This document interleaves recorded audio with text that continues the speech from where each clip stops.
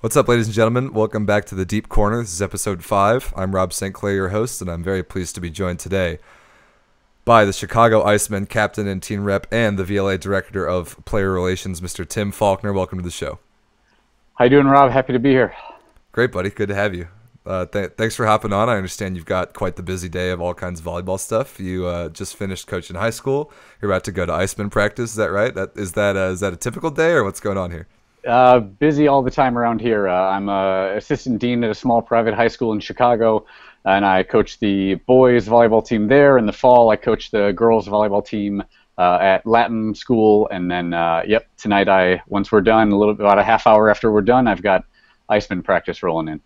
Love it. It's uh, cool. You guys are getting in the gym. You guys got a you know a little weekly date to go go hit the ball around. It's good stuff. Yep.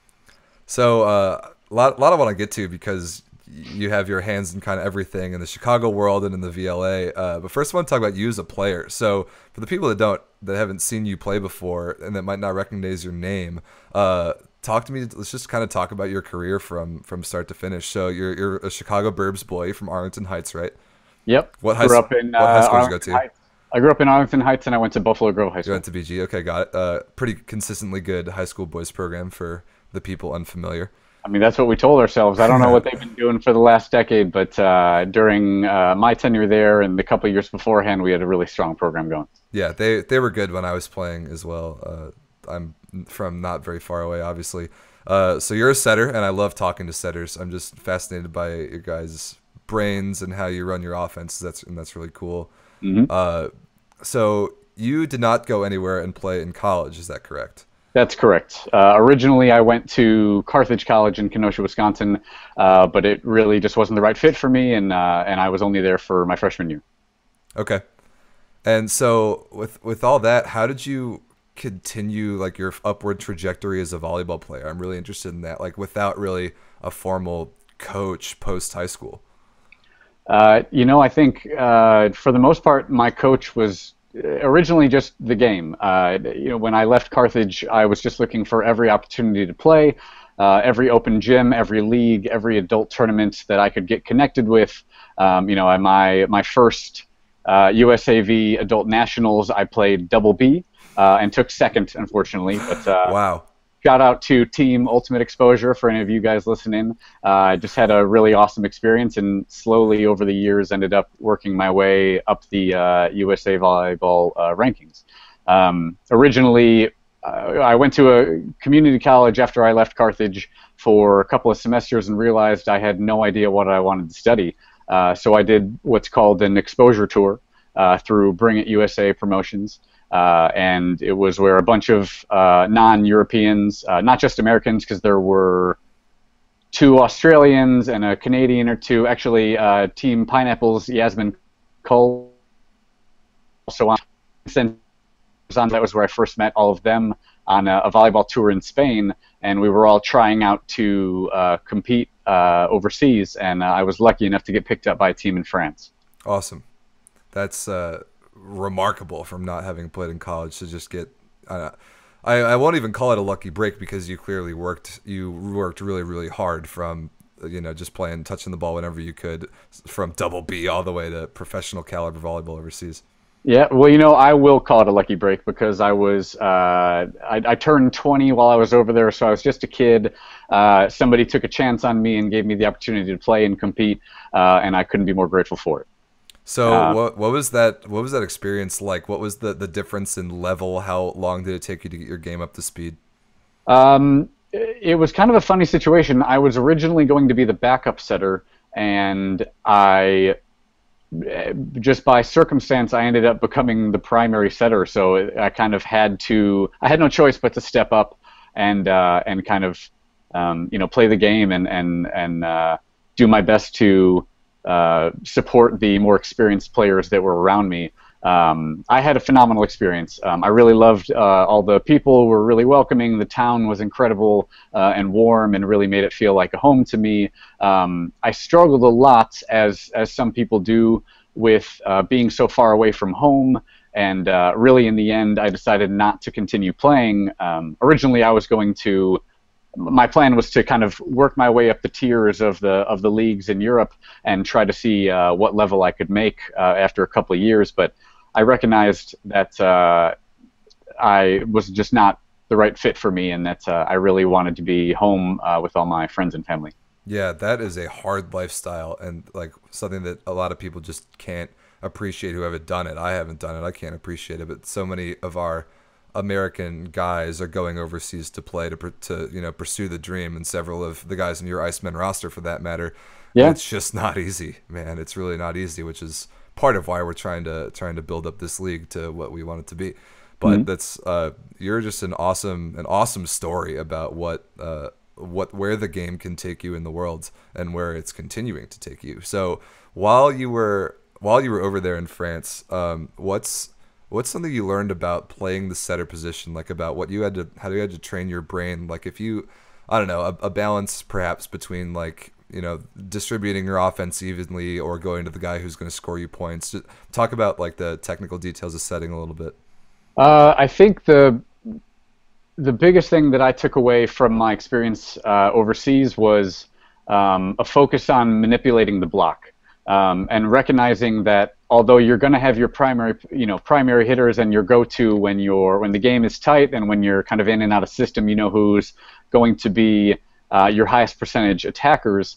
Um, what my coach really instilled in me is a focus on recognizing that if you're sending your middle uh, you know if you're sending them to for a 31 or for a shoot then what you're really doing not only is um, is changing the look for the opposing blocking middle against your middle, but you're also giving your opposite hitter an extra second and a half uh, of you know uh, without a without a double block. Yep. And if you're able to keep them in system, then you can really give your give your attackers the best one-on-one opportunity uh, every time. In system, of course. Of course. Of course. Uh, yeah, that's that's a great lesson. It's not about yeah, if you're if you're controlling offensive spacing, it's not about the hitter that you're controlling. It's about the you know the ripple effect in the rest of the offense, and we we've seen a lot of that at the highest levels in the past several years about the different spacings that people run BIC. I think that's really fascinating, like to move blockers around, but it's really like to, to open up your right side a lot of the time. Because yep. uh, at the highest levels, that seems to be the guy.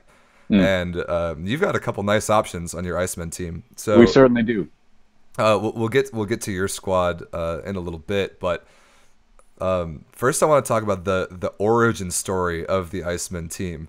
Um, uh, get into a little bit of history lesson for the people here. Uh, I talked with Vince last week about about the PVL days, like how his Arizona team was born into the PVL, and, yep. the, and the Icemen are no different. But you were not associated with Chicago right away. Uh, tell me the story. Not officially. Not officially. Yeah. So originally, the Iceman came to be. So, uh, like I said, I originally started off with a group of uh, friends playing Double B. Um, eventually, I was fortunate enough to make friends uh, with a bunch of former um, IPFW and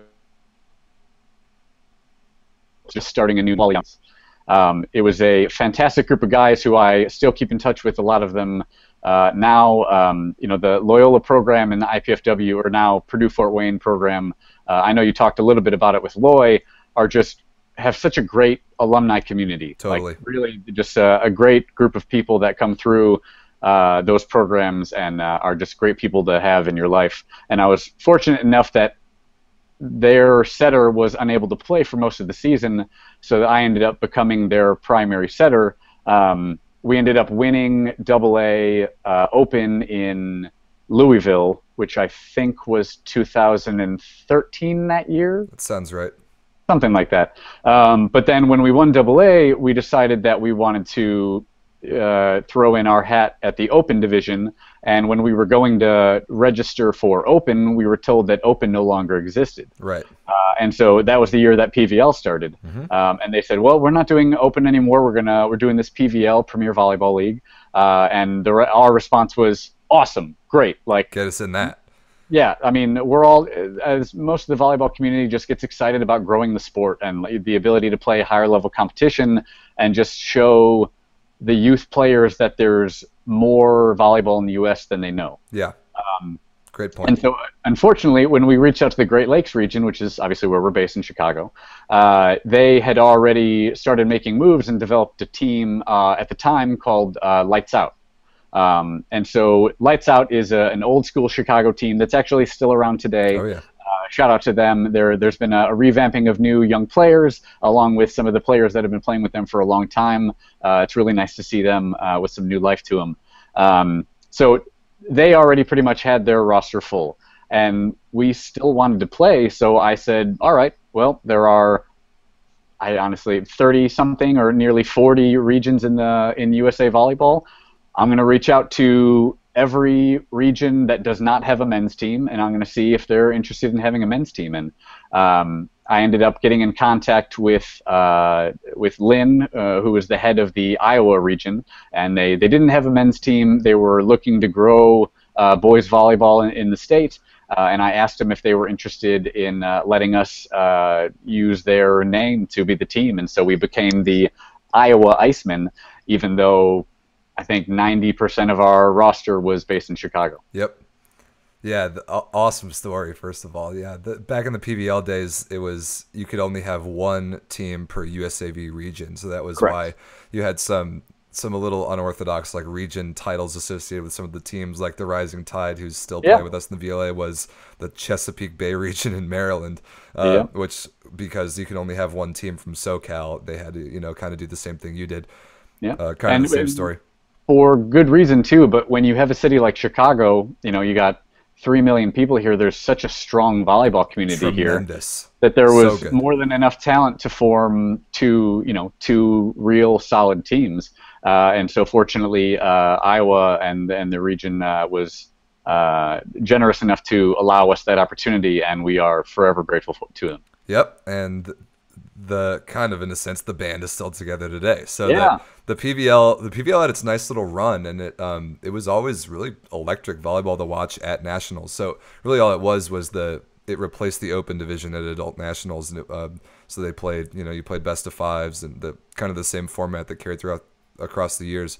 Uh, yeah, it, it made uh, it took a great foundation and just made it a little more formal. Exactly. Yeah, that's pretty much what it was because all there was at the time was just you know just the best adult teams who played together semi consistently would run into each other at open at nationals mm-hmm. anyway. And yep. so yeah, they just kind of they they formalized that and it was cool, but that that was it for the whole year. That was like the only event. Um, but people got so into it. I, I certainly did watching it from afar, like uh, getting into it for like just at nationals. Uh, but they were unable to kind of put it, push it past that level. Mm. Um, so fast forward a couple years, and here you are now with no reason not to be associated with your home city of Chicago. Yep. And and you're competing in the VLA, which is which is awesome. Um, Very exciting. Uh, so you get you guys have been able to get out of get out on the court the past couple years. What are the differences that you've noticed between the PVL days and what we're kind of looking at now competitively?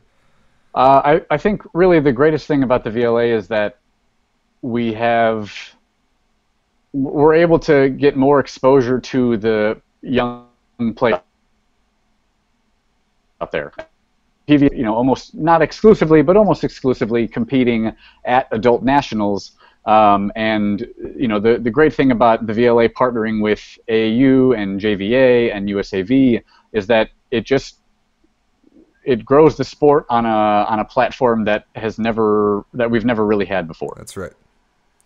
Yeah, so like when you guys, for example, will be at the first event in Louisville, and which is less than a month, which is insane. Uh, yep. So many thousands of people are going to walk by that court there and see you guys playing. It's just going to be awesome. The atmosphere is going to be unbelievable. You can really feel the energy at those events, and uh, you know it's the the crowd is, is so great and supportive and positive, and uh, yeah, it's it's really going to be an awesome experience.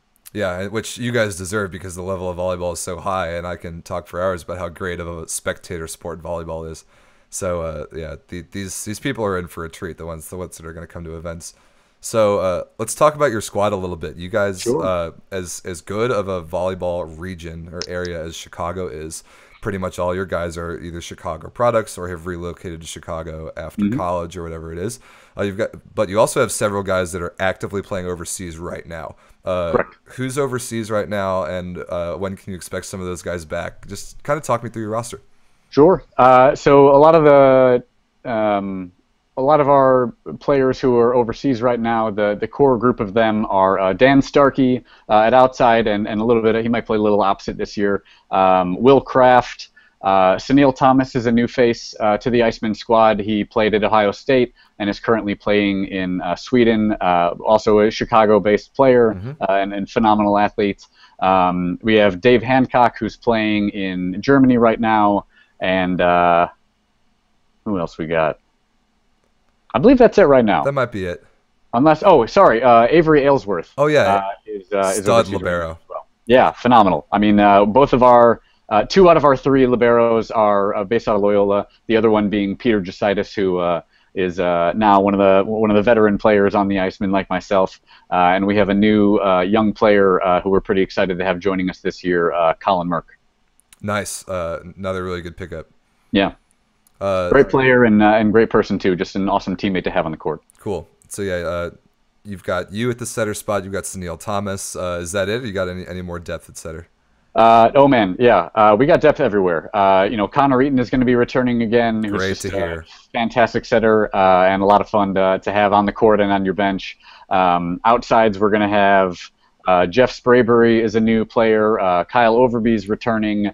Uh, I'm Andrei Diakov is going to be uh, coming back for at least Yes. one, one or two Excellent. events. Uh, who, uh, it's just uh, honestly, it's just an honor to uh, to play with somebody uh, as high caliber player as he is, and uh, it, I'm really fortunate to able to be able to call him a friend as well because he's an equally good person. Great guy.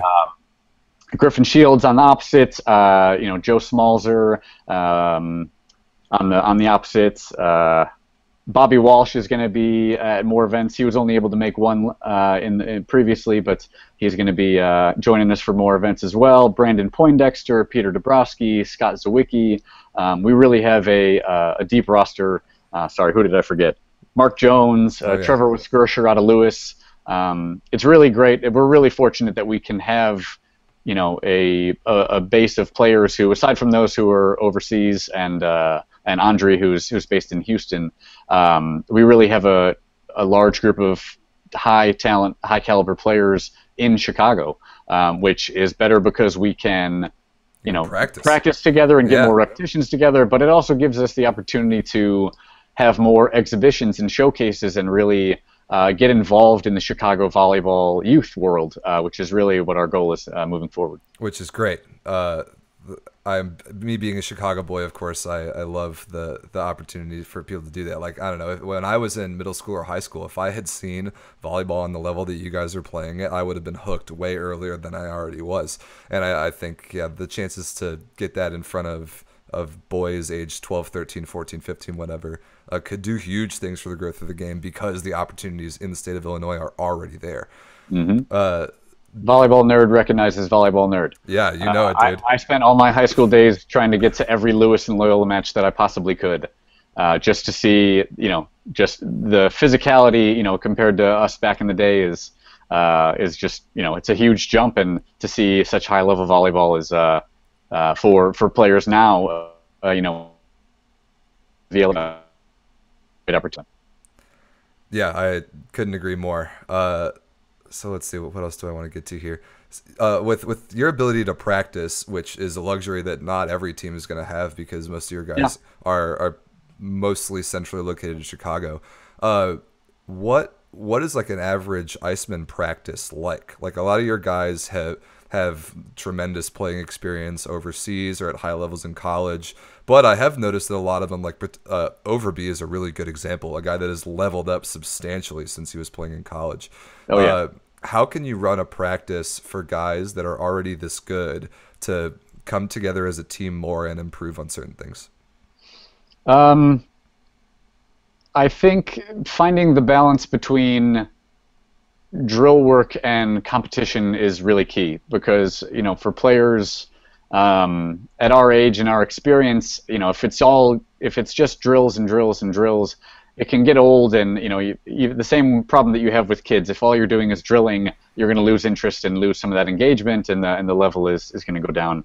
Um, I think I'm fortunate that the whole roster, you know, the the all the Icemen are really committed to the sport and the game and the team. And so when they walk in, you know, we do uh, a longer warm up than than we used to, and now that we're now that we're getting up there in, in our in age. No one's um, getting any younger, man. yeah, very thorough warm ups because uh, uh, old man injuries are becoming more prevalent now. Um, but uh, just a really solid warm up, you know, controlled setting drills, uh, game type situations, uh, and then progressing to full on play towards the later half of the of the practice. Awesome.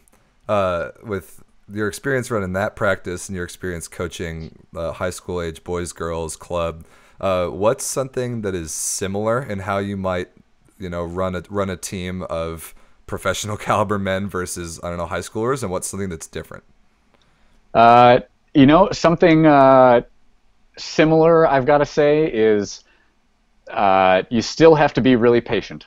Um, you know a lot of uh, the challenges of, of coaching high schoolers and middle schoolers is they're kids and their attention span is, is limited and you have to be mindful that uh, although we may have a lot of information to offer them you we need to keep them engaged and keep them active or you can really easily lose a lot of the things that you're working on uh, and so you know that's a, a balance that I find is uh, is still there with uh, adult practices is we need to move at a pace that is keeping everybody engaged, but make sure that there is a purpose to everything that we're doing. Well said. And uh, this is probably an easier question. What's different between, uh, you know, the, the, high school level and, and the, the Iceman level? Um, it's certainly easier not having to spend too much time on the very basics. The mechanics, um, yeah. Yeah, and like an actual mechanics and form, it's not really something that we are working to make major adjustments on. Uh, the great thing is is that with the wealth of knowledge that's on the court is we're all able to help each other with little things if we see some see an issue or um, in our form or I guess the bigger difference was or is going to be decision making is more of the focus than actual actual execution. Yeah. Recognizing situations and deciding uh, what the best choices are for us to be successful and keep everything uh, high percentage efficiency. Yeah, that's that's a good point and an interesting dynamic because you guys don't have like an official coach on the roster. It's kind of just a collective hive mind of all you guys' years of volleyball experience. And yeah. I talked to a little bit uh, to Pasquale and Loy from Team Pineapple about how that kind of works for them because they're in a little bit of a similar spot. But, yeah. uh, but you guys really all could hop on the court at any time and be not interchangeable but pretty close. How uh, I don't know when you're in in between sets in a match or you call a timeout, how does it work with all all the brains and all the things that you're seeing and the adjustments that you're making? You know, it's actually surprisingly organic. Um, that's definitely something that I was, that, you know, to be to have in the back of your mind and to be concerned about going into the dynamic of a team. But um, we really have such a good group of guys that you know we kind of let the di- different people take over at different times. If I'm setting, then you know Connor is usually going to take the lead on kind of commanding the team from the sideline. If Connor's setting, I'm going to be doing the same thing from the bench. Um, we have a couple of people who tend to take the lead on uh, on uh, in, during our timeouts, uh, specifically Peter Jasitis. Uh, who is uh, one of my f- favorite people that I've played with in my in my years and has a very calm and positive uh, presence uh, both on the court and off the court. So uh, he tends to take uh, a lot of the uh, speaking time uh, in the huddles, and everybody kind of falls in because we're all dedicated to moving forward and, and staying focused and working together to achieve victory. That's a that's a nice little transition. I kind of want to talk about what what being like a mature volleyball player really means. It's it's very very hard to quantify that, but something I've seen with the Icemen and with with you in particular because of all this success you've had in all these different tournaments, you know, throughout the Midwest. Uh, notably, when you and I played together and won the Bowl in Michigan last year. I had uh, a feeling that might cut up.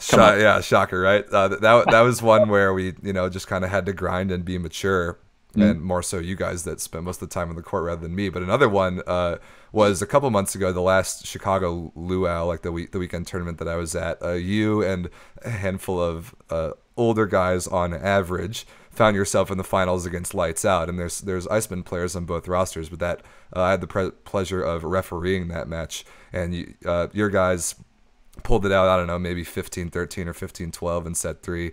I think so. It, it was 12 or 12 or 11. We had a little bit of breathing room. You, you might have. Uh, heck of a match, uh, but I think what, what it really came down to was the the old guy, mature, level headed, clutch playmaking ability, and it's so hard to quantify and really you know speak to exactly how that happens. But uh, try as best you can to, to talk about what what do you think makes a difference for you personally and for your teams when you're in tight situations. I think it's a combination of experience and faith in my teammates. Um, when we are, you know, if we have a, a, a pass uh, that is out of system, uh, you know, it's late in the game. Uh, it, like in, in set two for that uh, for that match, we were down 23-18 or 23-19 Yeah. uh, late, and they had won the first set. Right. Um, and you know, I I was at the service line, and I didn't go back there trying to get an ace and ace our way back to victory. I just put the ball in and had faith in my blockers and my defense that we were going to get touches and slow them down and uh, and and turn balls over so that we can keep getting one point at a time. Um, as far as you know, kind of being out of out of system, like I said, uh, with the experience of playing with the players that I've been playing with, and uh, for as long as I have, really recognizing to just not try to be the hero on every play. Um, you know, just recognizing that I it might be it's going to be safer if I'm out of system to put a solid high ball five feet in, five feet off that net, and give my outside an opportunity to make a smart swing. Uh, you know, it may not be a kill, but we're definitely going to put them out of system um, and give our defense a chance to again uh, earn points. Great point. Yeah, just high level volleyball stuff that comes with years and years and thousands and thousands of touches.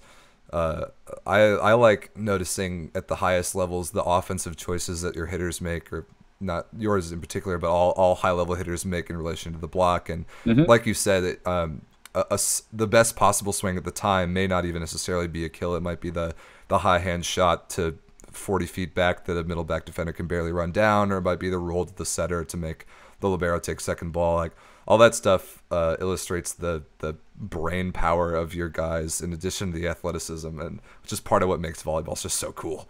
Yeah, I think that's uh, one of the things I love about uh, about watching the game so much is that it really is chess, not checkers. Totally. Uh, you know, every attacker has their their go-to swing. You know, it's it's the same swing that they were that was their high efficiency swing back when they were 15 and 16 When it years was old. going to score a point every time. yeah, Yeah. exactly. Whether it's trying to make that f- uh, four to four cut or going high to the f- zone five, um, everybody has their go-to shot, but now everybody has significantly more uh, tools in the toolkit, and our game is to one try to get the other team out of system and make their attackers uncomfortable and their setter uncomfortable and frustrated, uh, but also to recognize what their go-to shot is and do our best to stifle that attempt while still being ready for kind of off-the-cuff shots and off-speed and that turn down the line towards the setter or uh, shot through the hands uh, of the block. Um, it really uh, is, is something exciting to see to watch the minds of the different players go up against each other. Totally. It's uh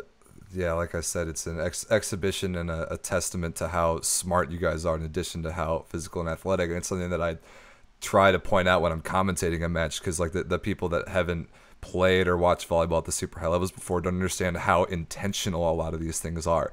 Like I, I love when a guy when an outside against a, a triple block will tap it into the high hands and cover it himself on purpose, like these guys are doing. Yeah, reset the block, Yep. right? Reset Yeah. the attempt. That's that's an intentional thing that is done that a lot of people like think, oh, that guy just got blocked and they got lucky to pick it back up. No, that's that's being done on purpose. Yep. Uh, a lot of cool, And- a lot of cool stuff like that. Yeah, and as far as like setting, I as whatever position you're playing, you have to learn from every every match, right? You learn from your teammates, you learn from your opponents. Uh, believe me, the last eight years of competing against Loy Ball has been a very very humbling experience. Uh, you know, I, I'm not one really to toot my own horn, but uh, he really, I've learned a lot from being on the other side of the court with him. I mean, it took me five years, I think, to beat him in a match. Um, but I still relish every attempt because you know I'm there to battle. I love the game. I love uh, the I know the other people on the other side of the court very well, uh, and uh, it's just a it's a great sport and a great experience. Part of what makes volleyball so cool is how you know community based it is, and how we're gonna, you know, we're gonna go have a beer with all the guys after the match after we play them. It's a part of what I love so much about it as well. Yeah, it's a it's quite the community. I don't think there's anything like it uh, in other in other uh, sports. Completely agree. So uh, let's talk a little bit about the league before we get you out of here to go run a practice yeah. of your own. Um, so your your role is you're you're the director of player relations. You're on the board. Um, Correct. So what? How much involvement is that? What are you kind of doing day to day from a league perspective, past just the Icemen? Yeah. So right now, as uh, as the league is being so young, everybody has their hand in pretty much all the hats right now. Um, one of my focuses moving forward is going to be um, are the VLA's attempts to start some clinics uh, that are going to happen with all of the uh, competitions that we have, so youth clinics, um, and part of that is organizing the clinic itself and the players in the VLA who are going to be coaching. Uh, moving forward, I'm going to be more heavily involved in uh, communications and operations, uh, like directly involving the players' uh, involvement. So, um, how are we going to organize contracts and commitments? Uh, what regulations are we going to have with um, their commitments to individual teams from season to season? Are we going to have multi-year contracts? Um, really, a lot of that is being discussed uh, within the board, and uh, and more responsibilities are going to be laid out as we move forward. That's league stuff, high-level league stuff that are it's characteristic of an organization that really has its stuff together and is thinking forward. Uh, several go big several or go years. home. That's right. That's I think that's how we got to do it. It's how we got to build it. And I can't give you and the board enough credit with how much work has already been done. Uh, yeah. Before even the first event. So yeah. Uh, so you guys will be in Louisville. You'll have a really solid squad. You'll be playing against yeah. Phoenix and Team Pineapple. Mm-hmm. Uh, the people can follow along here on the YouTube channel, which, by the way, as we're recording that, I, I think just got to a thousand subscribers. Oh, uh, awesome! Which is which is outstanding. Uh, yeah, so you guys can all check out Tim and the Icemen on the court in Louisville the first week in April. Uh, you'll see them at the VLA Open in Minneapolis Memorial Day. Uh, you'll see them in Columbus at the JVA Summerfest, and then you'll see them at our finals, which will be in Reno at the end of the year in conjunction with USAV Boys J Nats. So you guys will be all over the place playing an awesome schedule. Yep. Feel free, uh, anybody who's out there listening, feel free to stop by before and after the match and, and chat us up. Uh, you know, the great thing about all these events is the ability to interact with all the young players. It's so um, much you know, fun. There's, there, there, I think I forget who it was in uh, in your other interviews. I think it was Loy that said there are no ropes. Um, you know, we enjoy the conversations and, and people asking us about our careers and you know people asking for tips. You know, in in, in past events, uh, you know, for kind of competitions, we have. Uh, gone and watched, you know, supporting players and their own matches, uh, and really just kind of helped build the community from top to bottom. Well said, man. All right, uh, we'll get Timmy out of here to go run his Icemen practice. Uh, make sure to give their team a follow at Chicago underscore Icemen underscore VLA uh, on social media. Um, give the league a follow as well if you haven't already done that. Uh, Timmy, have a great practice, and until we see you in Louisville, we'll talk to you soon, buddy. Thanks for joining us. Thank you. Great talking with you. thanks for having me. Sure. Thanks, guys. See you next episode.